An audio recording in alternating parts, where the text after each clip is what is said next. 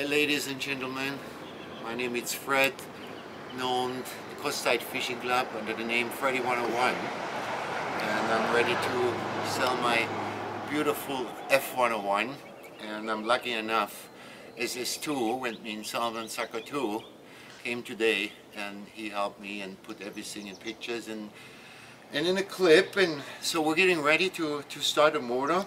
Uh, the hose and everything is connected this is uh, for salt away I also use some automobile soap wet eliminate salt and then periodically I run the motor even in the winter time just to make sure everything is maintenance nothing dries off. So I really uh, take care of this boat as good I can. Build a swim platform. It's aluminum very light. Also safety handles safety struts forward uh, rocket launcher set the door back build a little table here and what shows later on in the picture you can remove these two blades on each side put the socket in and then two chairs actually sliding right in. So you want to go for a family trip uh, this would be would be good to do. So let's go open up the valve open up the valve here let everything flow. Now we'll start the motor.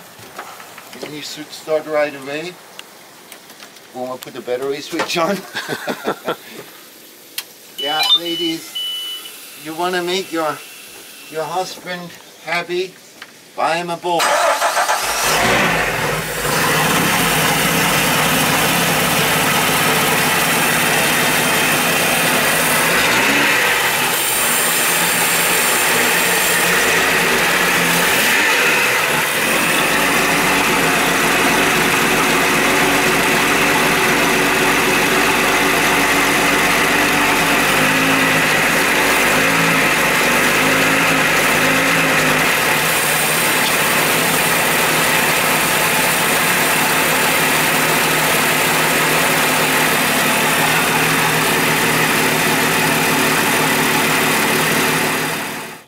I want to tell you a little about the, the motor. It's a V6 OSI. It's a beautiful running motor. It's very fast boat. I, I never ran it to the limit. But uh, one and a half years ago I got a problem. So this steering arm, what I have in my hand here, uh, it's worn out. So when this is worn out, what you mainly have to do is you have to pull the motor, outdrive, and the gimbal housing.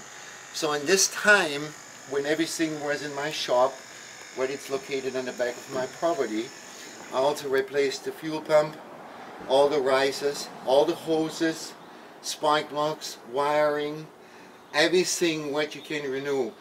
Uh, impeller, uh, fuel injector. So yeah, this is pretty much what, what comes in my mind right now. So uh, motor runs good. I'm using a very good oil. You can see the oil filter. It's a, it's a racing filter. I'm also using racing oil for this motor when it's a 30 grade. Uh, runs like a champ, but I'm building over there, I'm building my coffin and so less maintenance on this one, easier to tow. I'm getting old and cricket and it's time to, to give it away. You also can see the wash down over there. It's located in the inside, so nothing is on the ground when you're fishing. The switch is right on the back here. Uh, it's also you can stick it in to the side. Uh, It's a a hole, so the wash down it's it's right on the on the cleaning platform. Very easy to to keep everything nice and clean. All right, so somebody want to call me? Let's go do it. Have a good one.